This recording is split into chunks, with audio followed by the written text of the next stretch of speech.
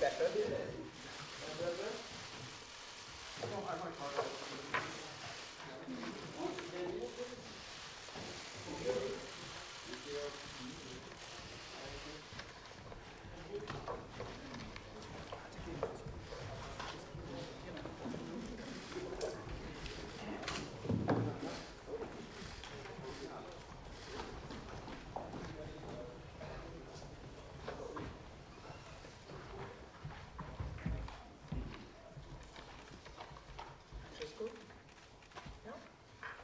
First of all, Happy New Year to all of you.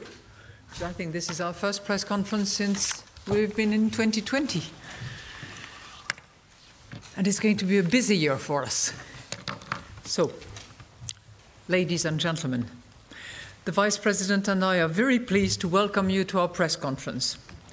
We will now report on the outcome of today's meeting of the Governing Council. Based on our regular economic and monetary analysis, we decided to keep the ECB interest rates unchanged. We expect them to remain at their present or lower levels until we have seen the inflation outlook robustly converge to a level sufficiently close to, but below 2% within our projection horizon. And such convergence has been consistently reflected in underlying inflation dynamics. We will continue to make net purchases under our asset purchase program at a monthly pace of 20 billion euros. We expect them to run for as long as necessary to reinforce the accommodative impact of our policy rates and to end shortly before we start raising the key ECB interest rates. We also intend to continue reinvesting in full the principal payments from maturing securities purchased under the APP for an extended period of time past the date when we start raising the key ECB interest rates, and in any case, for as long as necessary, to maintain favorable liquidity conditions and an ample degree of monetary accommodation. Today, the Governing Council also decided to launch a review of the ECB's monetary policy strategy. Further details about the scope and timetable of the review will be published in a press release that will come out at 3:30.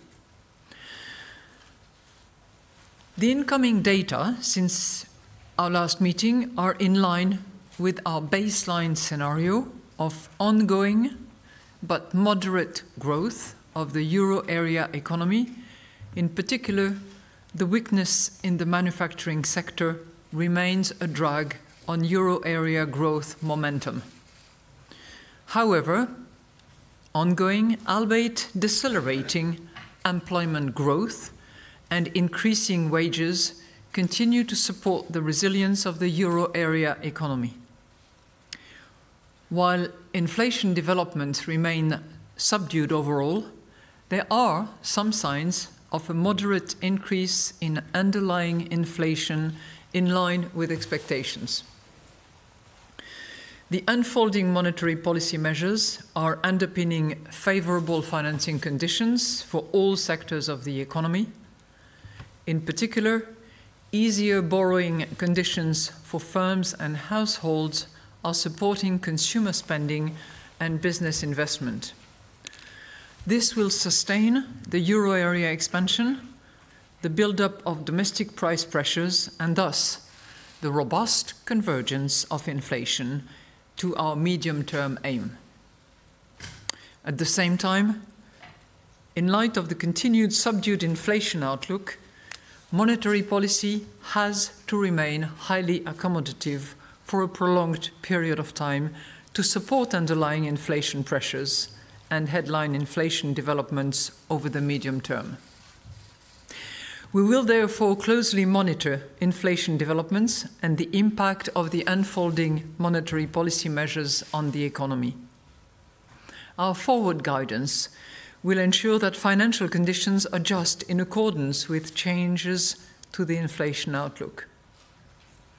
In any case, the Governing Council stands ready to adjust all of its instruments as appropriate to ensure that inflation moves towards its aim in a sustained manner in line with its commitment to symmetry. Let me now explain our assessment in greater details, starting with the economic analysis. Euro area real GDP increased by 0.3% quarter on quarter in the third quarter of 2019, following growth of 0.2% in the second quarter. The pattern of moderate growth reflects the ongoing weakness of international trade in an environment of continued global uncertainties, which has particularly affected the euro area manufacturing sector and has also dampened investment growth. At the same time, the services and construction sectors remain more resilient despite some moderation in the latter half of 2019. Incoming economic data and survey information point to some stabilization in euro area growth dynamics, with near term growth expected to be similar to rates observed in previous quarters. Looking ahead, the euro area expansion will continue to be supported by favorable financing conditions further employment gains in conjunction with rising wages, the mildly expansionary euro area fiscal stance, and the ongoing, albeit somewhat lower, slower, growth in global activity. The risks surrounding the euro area growth outlook related to geopolitical factors, rising protectionism, and vulnerabilities in emerging markets remain tilted to the downside, but have become less pronounced as some of the uncertainty surrounding international trade is receding. Euro area annual HICP inflation increased by 1.3% in December 2019 from 1% in November 2019 reflecting mainly higher energy price inflation. On the basis of current futures prices for oil, headline inflation is likely to hover around current levels in the coming months. While indicators of inflation expectations remain at low levels, recently they have either stabilized or ticked up slightly. Measures of underlying inflation have remained generally muted, although there are further indications of a moderate increase in line with previous expectations. While labour cost pressures have, have strengthened amid tighter labour market, markets, the weaker growth momentum is delaying their pass through to inflation. Over the medium term, inflation is expected to increase, supported by our monetary policy measures, the ongoing economic expansion, and solid wage growth. Turning now to the monetary analysis, broad money, M3, growth stood at 5.6% in November 2019, broadly unchanged since August. Sustained rates of broad money growth reflect ongoing bank credit creation for the private sector and low opportunity cost of holding M3 relative to other financial instruments. The narrow monetary aggregate M1 continues to be the main contributor to broad money growth on the components side. The growth of loans to firms and households remained solid, benefiting from the ongoing support provided by our accommodative monetary policy stance, which is reflected in very low bank lending rates. While the annual growth rate of loans to households remained unchanged from October at 3.5% in November, the annual growth rate of loans to non financial corporations moderated slightly to 3.4% in November from 3.8% in October likely reflecting some lagged reaction to the past weakening of the economy. These developments are also visible in the results of the Euro area bank lending survey for the fourth quarter of 2019, which indicate weakening demand for loans to firms, while demand for loans to households for house purchase continued to increase. However, credit standards for both loans to firms and loans to households for house purchase remained broadly unchanged, pointing to still favorable credit supply conditions. Overall, our accommodative monetary policy stance will help to safeguard very favorable bank lending conditions and will continue to support access to financing across all economic sectors and in particular for small and medium-sized enterprises. To sum up, a cross-check of the outcome of the economic analysis with the signals coming from the monetary analysis confirmed that an ample degree of monetary accommodation is still necessary for the continued robust convergence of inflation to levels that are below but close to 2% over the medium term. In order to reap the full benefits from our monetary policy measures, other policy areas must contribute more decisively to raising the longer term growth potential, supporting aggregate demand at the current juncture, and reducing vulnerabilities. The implementation of structural policies in euro area countries needs to be substantially stepped up to boost euro area productivity and growth potential, reduce structural unemployment, and increase resilience. The 2019 country specific recommendations should serve as the relevant signpost. Regarding fiscal policies, the euro area fiscal stance is expected to continue to provide some support to economic activity. In view of the weak economic outlook, the Governing Council welcomes the Eurogroup's call in December for differentiated fiscal responses and its readiness to coordinate. Governments with fiscal space should be ready to act in an effective and timely manner. In countries where public debt is high, governments, governments need to pursue prudent policies and meet structural balance targets, which will create the conditions for automatic stabilizers to operate freely. All countries should intensify their efforts to achieve a more growth friendly composition of public finance. Likewise, the transparent and consistent implementation of the European Union's fiscal and economic governance framework over time and across countries remains essential to bolster the resilience of the euro area economy.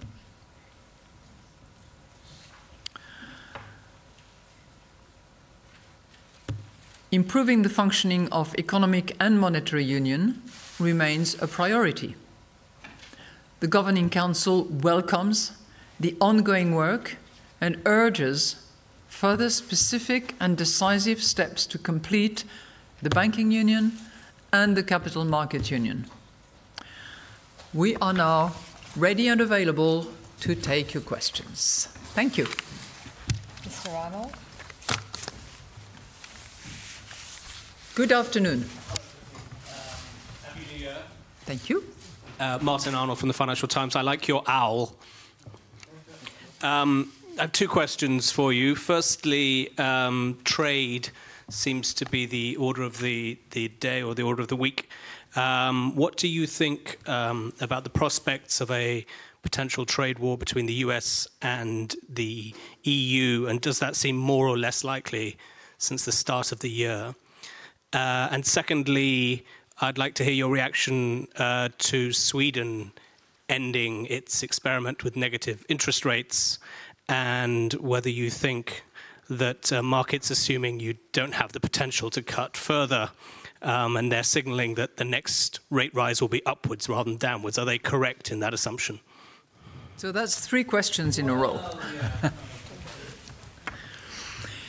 okay, on the, uh, on the trade front, I think you, you're quite right in signaling that trade is actually uh, an important element in our considerations, and particularly in assessing uh, the downside risk. I think one critical development since uh, our last uh, meeting in late December has been the conclusion uh, of phase one uh, of the negotiations between US and China. And that, in and of itself, uh, has um, a variety of consequences.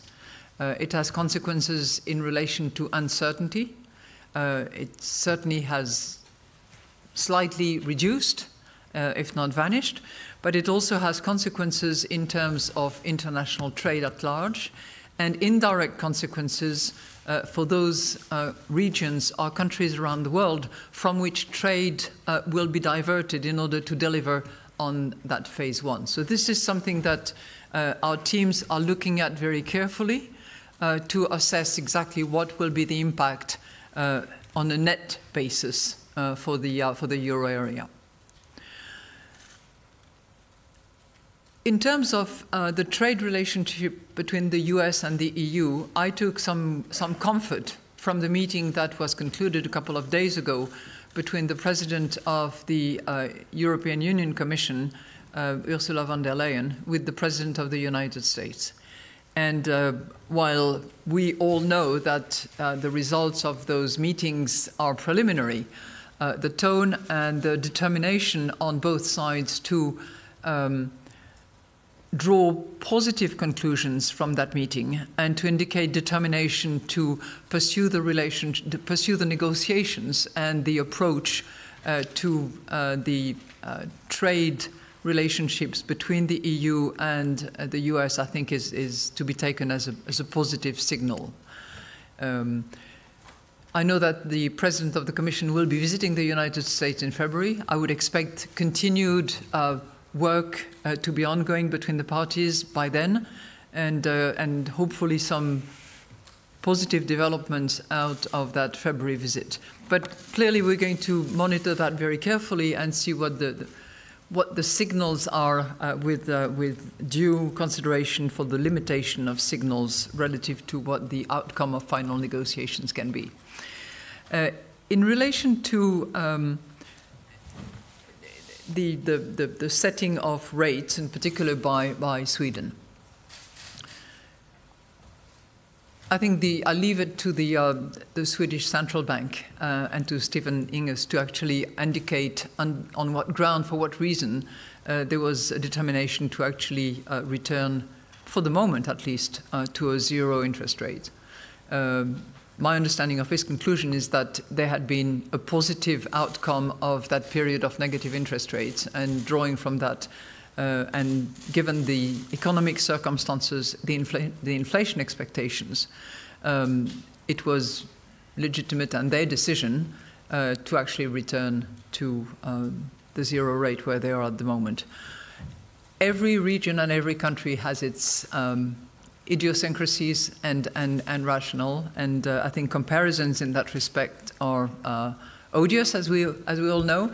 Clearly, everybody's going to look at you know, what uh, conclusions are drawn from, from that uh, monetary policy reversal, if you will, um, in Sweden. But I wouldn't draw any conclusion as far as our policies are concerned. And as I said very clearly, I think in the introductory statement, um, the Governing Council is going to be very attentive to any and all developments in all directions, uh, both in terms of growth, but uh, obviously in terms of inflation, which is our measurement of price stability, and will take whatever measures are necessary as appropriate uh, in order to respond uh, to our imperative to deliver on our mandate of price stability.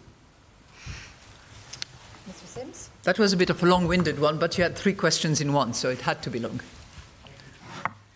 Thank you, uh, President Lagarde. A uh, question about the inflation target. Do you agree with your predecessor that the inflation target should be viewed as symmetric? And I'm also curious about your view on the suggestion of creating a band around, uh, a target band around 2%. And then a question on the risks. Um, you said that the uh, risks remain tilted to the downside, but less so. Was there some discussion about uh, maybe saying that risks are now balanced? Um, on the uh, on the inflation uh, target, uh, we have um, we have a policy by which we operate. We have a, a strategy that was defined and that has inspired uh, the policy decisions that were made and that have been made up until this day, and that will continue to inspire the policy decisions that are made until a strategy has been adopted, which is a while from now. But I'm sure you'll have questions about the strategy. And in that respect, I would just adhere to uh, what that strategy was, what its developments were over the course of time. I think the point of symmetry is very clearly referred to in the introductory statement, uh, one con press conference after the other. So I would, I would refer you to that. Um, you very uh, gently um, nudge me into having a view as to whether there should be a band, as to whether there should be this, that, or the other. I'm going to refrain from that. I know that some uh, some commentators would, would love me sort of uh, to disclose uh, my principles, my views, and my philosophy. I think it would be largely uh, unfair uh, to the strategy uh, review exercise that we are embarking upon as of today. I do have my views, as have other members. My, um, my mission as, um, as president uh, of the Governing Council is to harness all the views around and to make sure that we come to as close as possible a view that is shared by all in order to have as consistent and as effective um, a monetary policy in order to deliver on our mandate. So, as I said last time around, we're going to, look at many issues. Multiple views will be uh, um, proposed. A lot of hard work is going to be put into the exercise, but I would not exclude, preclude, or anticipate uh, how we are going to deliver, because that's the point of our strategy review exercise. It's how we deliver. Now, you asked me about the, um, the, the, the risk tilted to the downside and how much tilted to the downside, but less so than uh, last time around. Um, I think what one of the key considerations we had on our mind was indeed the change in the level of uncertainties about trade and trade relationships, and the expectations we have that those uncertainties will be uh, dealt with, hopefully in the future, with the same uh, type of approach, negotiations rather than adversarial positioning. Um, was there a discussion as to whether it was closer to balance than it was uh, tilted to the downside but less skewed than it was, yeah, you always have those discussions. And that's, I think, um, completely justified uh, because of the very mixed um, picture that we have of, of the economy. If, if you focus on certain signals or if you focus on certain indicators or certain surveys, then you, you, you could have a, a, a less downside. If you focus on others, you could be a little bit more downside. So we tried to arrive at exactly what we thought collectively, unanimously actually, was the right level, uh, which was still to the downside, but less pronounced than it was uh, at our last press conference. We still have uncertainties, let's face it. Mr. Schwarze? Where are you? Would be your advice, your advice for German savers. Uh, they lost billions, billions of uh, euros. Should they buy shares, real estate, or should they spend their money? And they suffer from insecure pensions. What should they do? You know, it, I wish I was a financial advisor, but in my position, I'm not. Uh, and, and I know that uh, Germany has, has plenty of terrific financial advisors, excellent bankers, and, uh, and uh, they will not be short of good advice to their, to their customers. I would simply say that the role of the European Central Bank and the euro system at large, which includes all national central bank, is to deliver on price stability. And uh, one of the avenues for delivery of that price stability is to make sure that, uh, that there is growth of our economies and that that growth is sustainable and, and solid. The study and the work that has been done internally at the ECB demonstrates that because of the monetary policy, including very low rates and possibly negative rates, because of that monetary policy, millions of jobs were created throughout the euro area. Growth was higher because of that. So that, that's, that's a very, very strong um, argument uh, to explain why monetary policy had to be what it is. As you have noted in my introductory statement, and I don't differ from my, um, uh, my predecessor on that front, I think having amplifiers of our monetary policy by having the right fiscal policy, be it by way of additional spending or reduced taxation, for those countries that have the space to do that, would certainly help in that regard. Mr. Lacour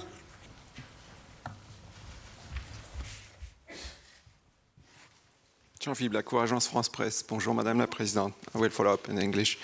Um, I have a question on the strategy because at the beginning of your tenure, you said, uh, I want to dust off the language of the bank to help the citizens to understand what uh, the bank uh, is for. And now, you know, the most citizens, are they savers or are they borrowers? They have just one thing in mind. When will the ECB raise the, right, the, the rates? And the, the one announcement you are doing today is, yes, we will launch a new strategy. So um, could you maybe explain now, right now in simple words to these people why is it so important to review a strategy? Um, because maybe it's not very evident for them to, to understand this uh, long distance exercise. Um, and my second question question on, on Davos. Yeah? As uh, you, when you were managing director of uh, IMF, uh, the world was waiting uh, at your verdict on global growth at the opening of Davos. Now you are flying to Davos after this presser, but a bit at the end of the journey.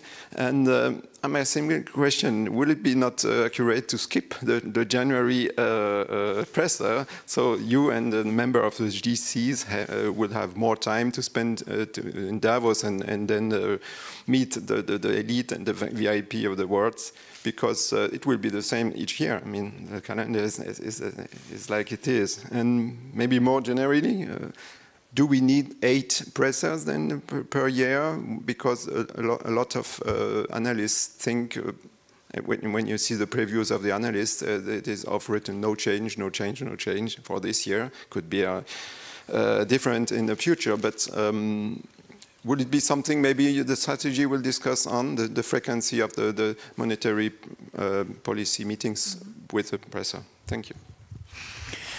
Well, first of all, you know, our regard, our governing council, our deliberations, uh, our scrutiny of the economy, and our determination to deliver on price stability as our mission and my mission. So yes, there are very interesting phenomena going on in the world. There are great conferences and great seminars to attend. But when something as important as our governing council meeting is scheduled, I don't see any reason why we would change it. Uh, we will see whether next year, the year after, and, and, and so on and so forth, whether we need to reorganize the timetable. But at this point in time, frankly, I think it would have been um, unwarranted, to say the least, uh, to change anything. That's point number one. Point number two, on, on the scope of the strategy. We are going to review um, a whole host of issues so yes, it will have to do about um, how we deliver, um, how we measure, what tools we have, um, and how we communicate.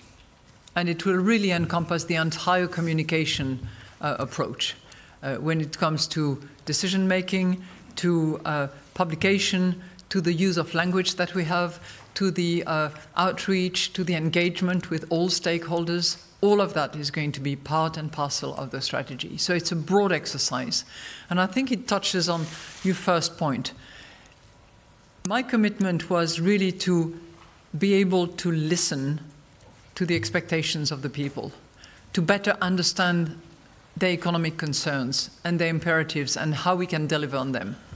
We will continue to benefit from the work of the researchers, of the top-notch economists, of the, um, the academics, and, and yes, their views will be harnessed at various events that will take place in the course of 2020. But it is also going to be our task and our goal to listen that resonates with those of you who know uh, how the Fed has organized its Fed listens. Uh, we, we, we will be different because you know, 19 uh, member states do not all speak the same language, and if we want to reach out to people, we are going to have to use um, people's language, I mean, literally, um, and it will involve all the national central banks, which will be uh, also active participants in, in the process. But that's what I mean by including, reaching out, and addressing the concerns. Now, I take your point about the interest rates.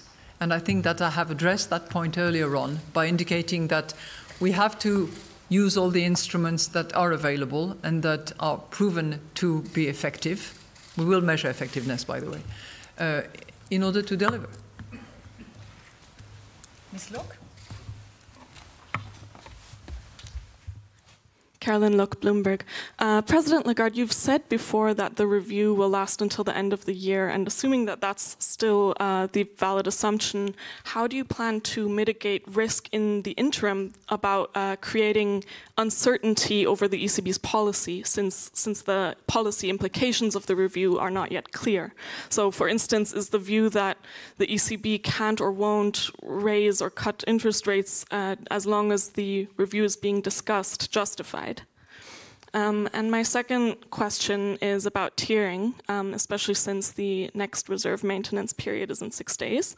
Um, I'd like to know what the ECB has learned from its experiment with tiering so far since September, whether you're satisfied with the impact on bank profitability and lending and money market rates, and whether what you consider the costs and benefits to expanding the pool of exempted deposits or, or raising the rate on, on them. Thank you. You know, I have a, a very um, simple minded approach to uh, your first question. It will be over when it is over. In other words, we will have a new strategy when we have concluded the exercise. Our expectation at this point is that it will take a year, and our hope is that we can. Uh, agree on that uh, new strategy of the European Central Bank around November, December. December, in my view, would be the uh, the the probable date for the for the uh, the conclusion and the communication of our strategy. But when I say it will be over when it is over, what it means is that in the meantime, irrespective of our deliberations, our consideration our engagement with academics, with uh, economists, with civil society, with European Parliament, and so on and so forth.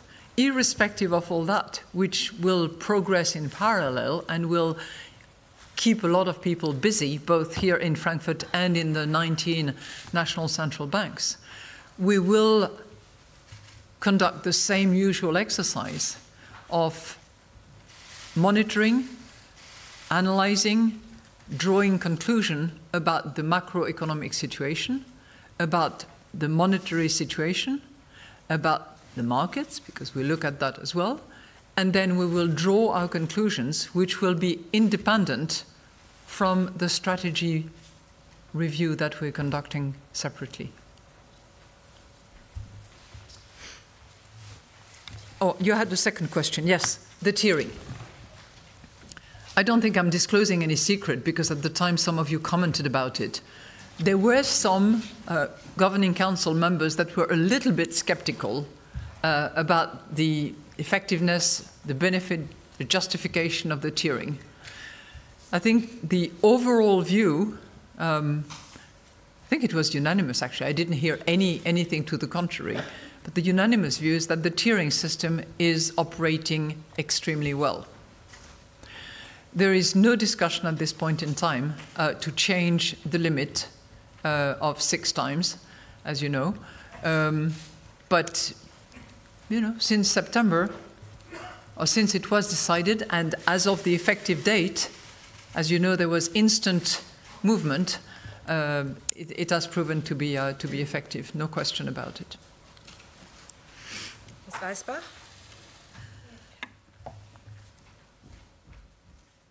President Lagarde. Um, Annette Weisbach with CNBC. I have a question on climate change because you said earlier on that you want the ECB to play a pivotal role in fighting climate change also um, during the, the, strategy review or including that in the strategy review. Um, what does that mean concretely? I mean, what kind of things do you have in mind? And then one other aspect you were saying as well that you want to bring the ECB closer to the people.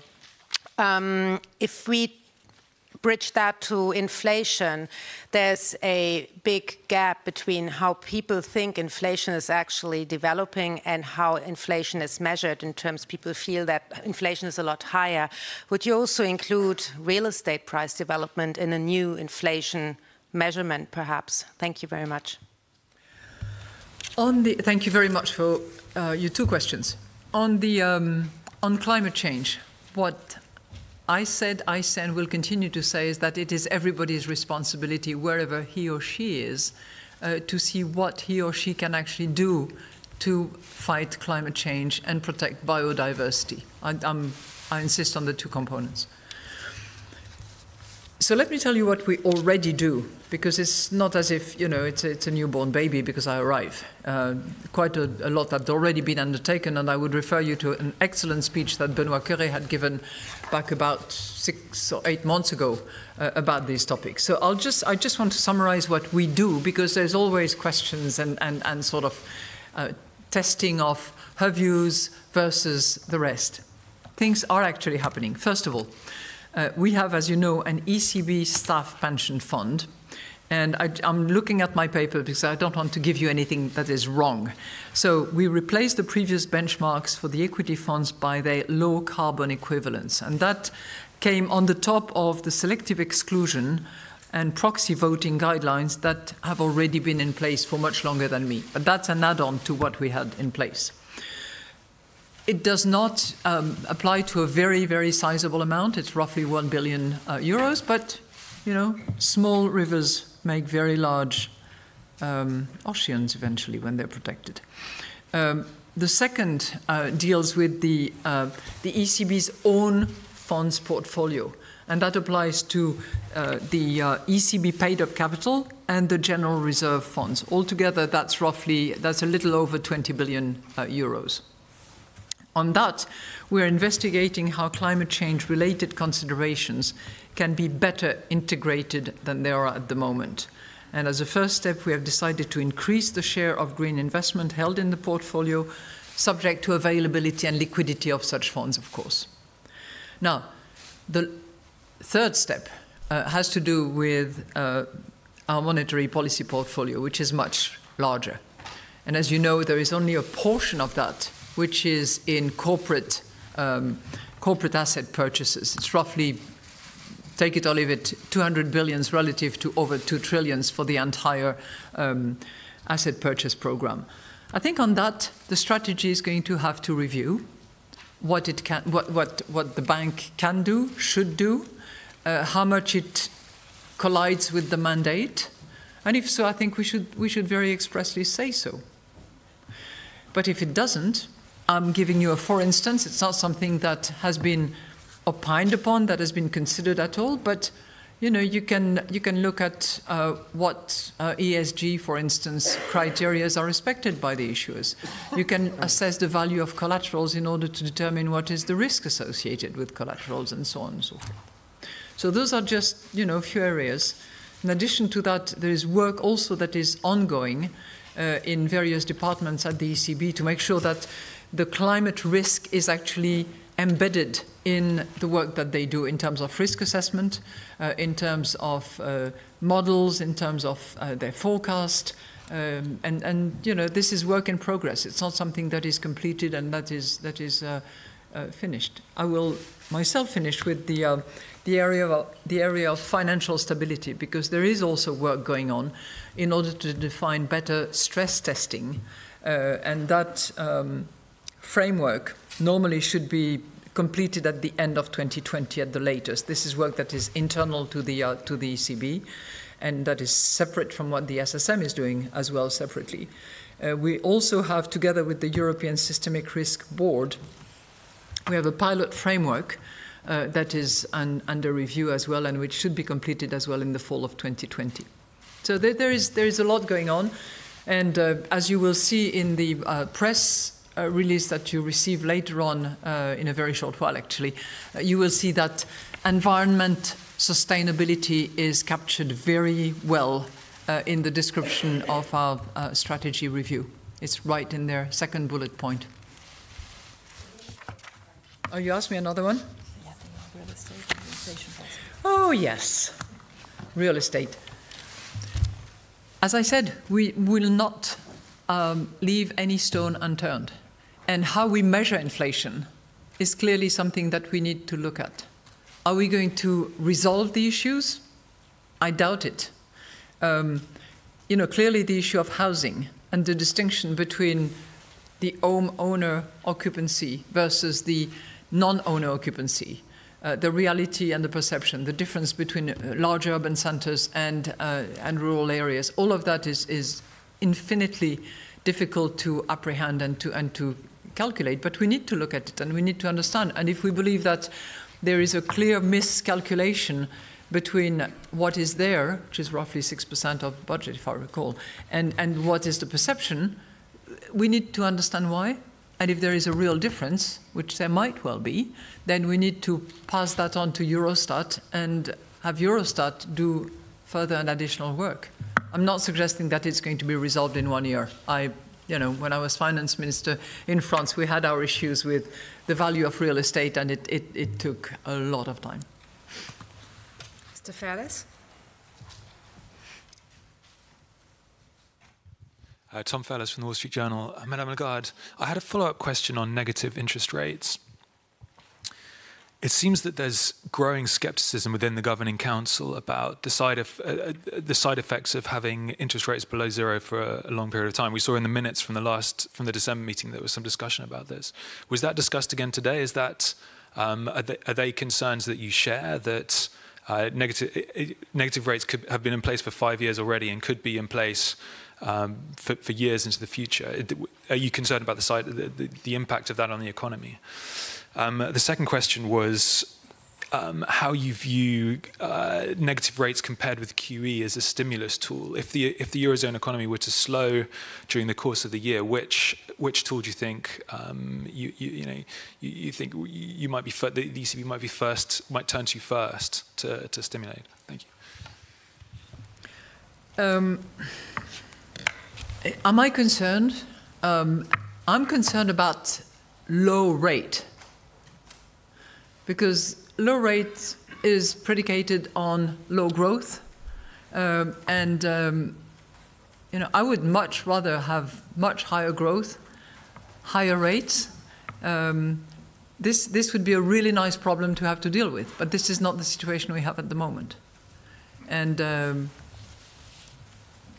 you, will, you will see that as part of our strategy review, we are going to look at the, side, at the potential side effects of the current circumstances, which are low rate. I mean, let alone negative, but they're, they, we have had low rates uh, for a period of time. And that hampers our ability to respond in case of um, exogenous uh, shock, as you know.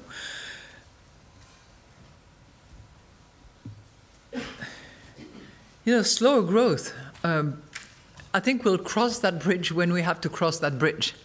But as you also know, uh, different tools apply to different portion of the yield curve. And we, we will let's hope we don't have to do that because growth doesn't slow and growth continues to not only stabilize but accelerate in, in, the, going, in the going future. That would be a nice problem to have to deal with. But if it did not, then we really have to ask ourselves at which end of the yield curve we want to operate, and that will determine which kind of instrument we, we, we want to use. Mr. Ewing? Thank you, Jack Ewing from the New York Times. Uh, Madame Lagarde, I have a, another uh, climate change question. There was uh, the, the Bank for International Settlements published a report at the beginning of the week. The, the, vice president, in fact, wrote a forward to that.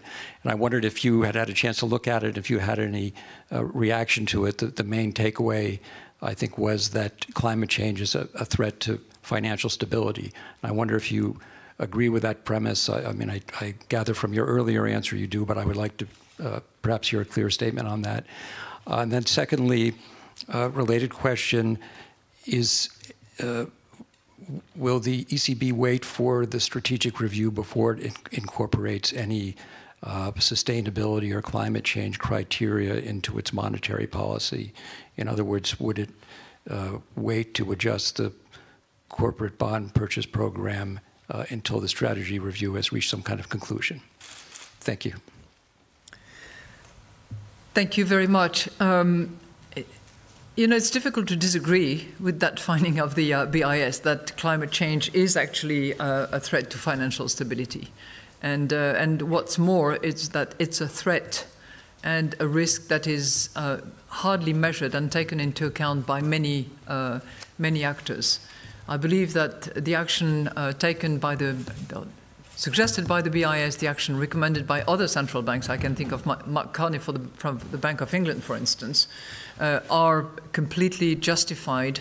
And uh, I was personally very pleased to see that the private sector is actually also taking action in that, in that respect. And uh, um, certainly would welcome uh, the involvement of other operators, including the accounting firms and those that are setting the international accounting standards, uh, as well as the, uh, the, the, large asset managers, as, as we've seen. I think we, we badly lack uh, harmonized measurement systems that can be uh, generally accepted and, and that are actually implemented.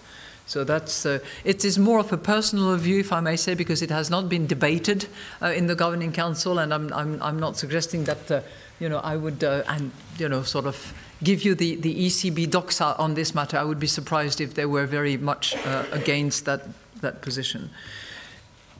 What I tried to do when describing for you what we were already doing uh, was to show that while we might not be ahead of the curve yet, uh, we are not um, sitting on our bottom doing nothing. So we are taking climate change into account in order to improve the way in which we operate at the moment. And wherever we have the option to include climate change as one of our tools, uh, we, are, we are doing so. It is going to be an important matter that will be debated during the strategy review. What impact does it have? What consequences should we draw? Where does it um, uh, impact the way in which we, uh, we operate? All, all those questions will have to be debated. Mr. Kantaris. Thank you. Mr. President, the last strategic review addressed uh, an era where inflation was hard to tame, not hard to stimulate. And since then, technology, globalization, even European integration have added efficiency but have undermined the uh, inflationary uh, pressures. How can this strategic review address with this fundamental uh, shift and what yardsticks do you think personally should be assessed first for their relevance in today's era?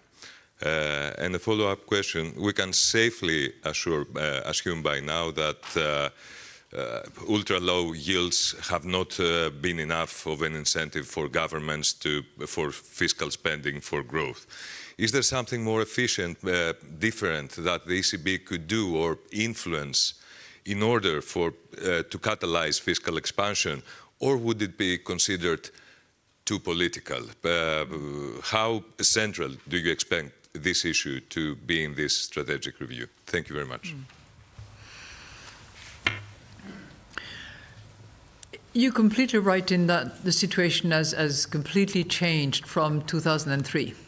And uh, as uh, you know, we, we, published a study just before uh, December that, that sort of takes stock of the last 20, year, 20 years of, of euro um, use and implementation and monetary policy uh, delivery. For 10 years, the goal was to fight inflation because inflation was way too high. And then the financial crisis was the pivotal point at which, you know, eventually inflation was too low. So it's, it's been a reversal of, of the situation and requires, in my view, that we actually look at the strategy very carefully to see how effective we can be in view of the change of circumstances, some of which are structural factors that are here with us to stay. When you look at the aging of population, when you look at the low productivity, these are probably going to be with us for a long time. So we need, that's, you know, that justifies fully the need for a strategy review. We cannot operate as we did back in 2003, which doesn't mean to say that we have to necessarily change this, that, or the other, but we have to look comprehensively at the effectiveness of our monetary policy. One thing that I know is central and anchored in our considerations will be the mandate that we are given under the treaty, which is that of price stability. That's the primary one.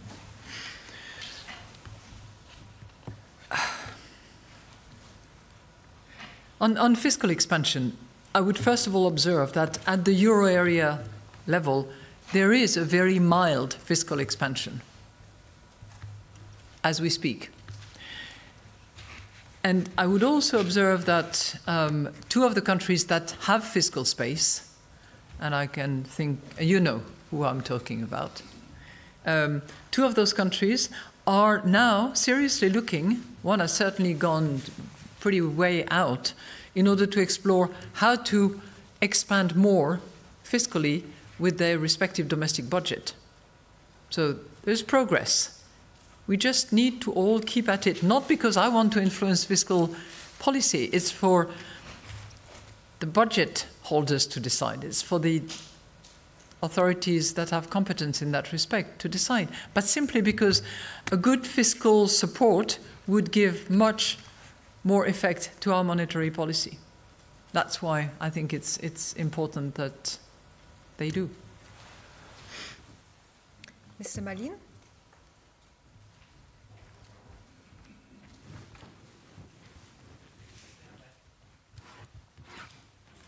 Jan Mallien, Handelsblatt. Um, I have one question on climate change. Um, you have raised quite high expectations on the future role of the ECB on in the fight against climate change.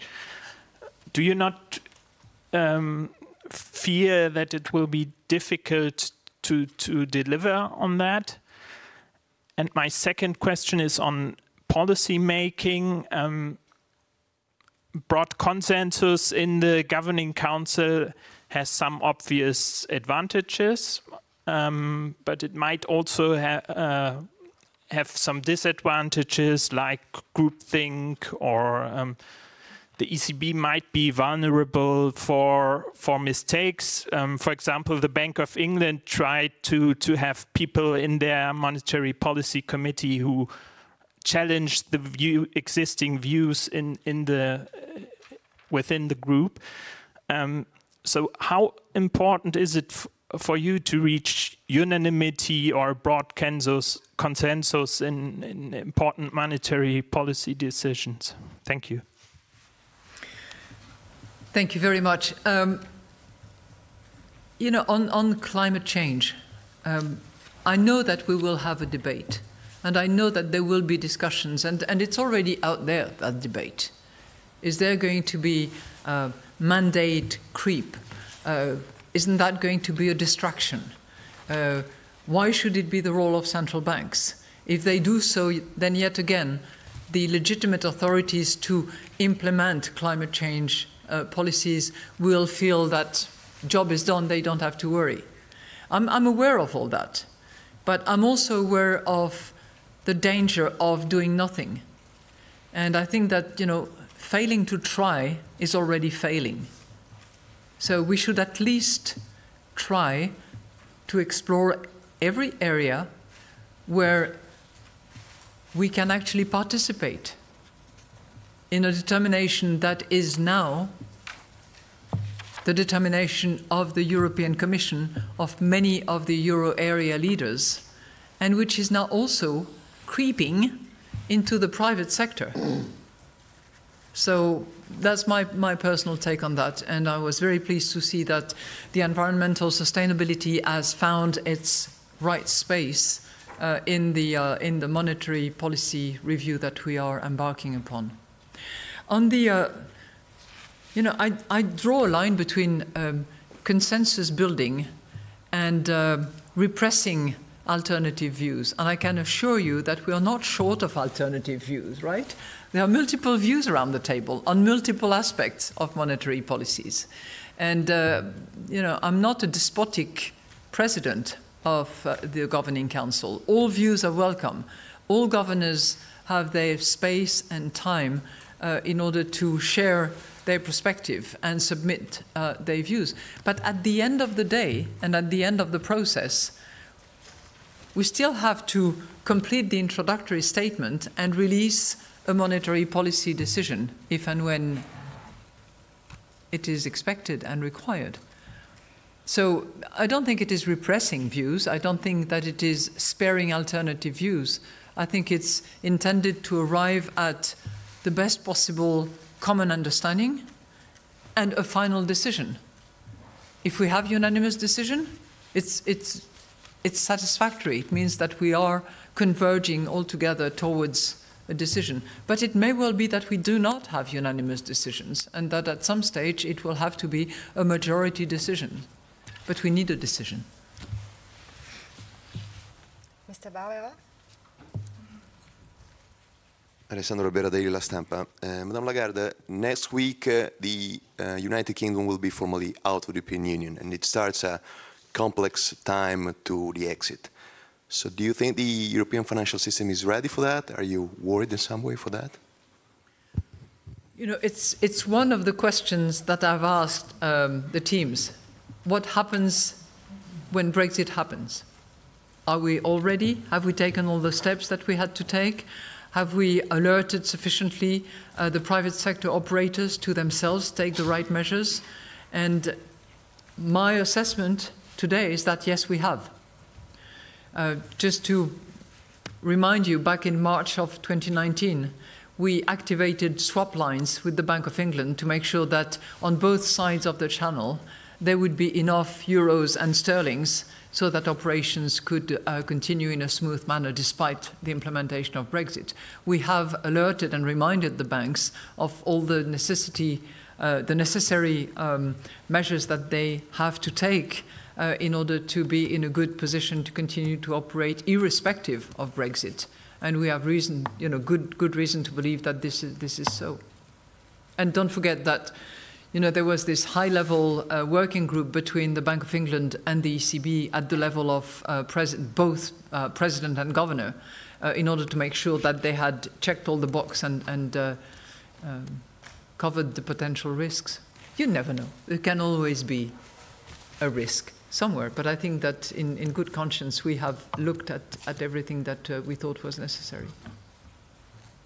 And the final question to Mr. Gürner. First of all, Happy New Year also to you and to all your colleagues of the ECB.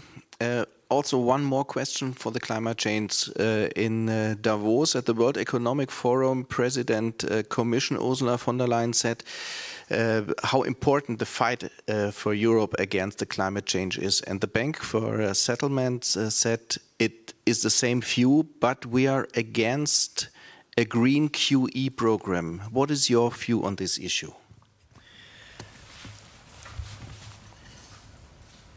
I very strongly support um, the President of the Commission in that respect, and in many respects for that matter.